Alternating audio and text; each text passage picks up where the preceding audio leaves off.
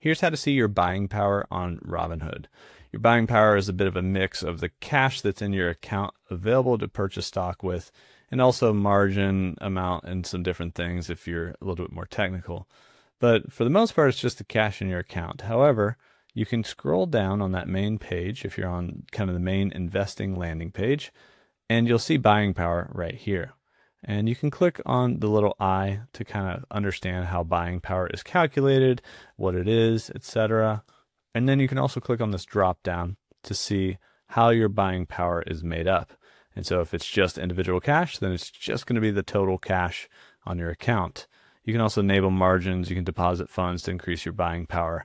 But basically, this is where you'll see your buying power. Now, the other spot that you can see it, you don't have to just look in this spot, is if you're on a stock, like I'm just going to go to Apple stock really quick.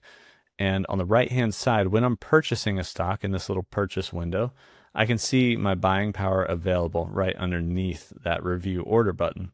So that'll show me there the buying power that I kind of have available on my account whenever I'm making a purchase. That is how you can see your buying power on Robinhood.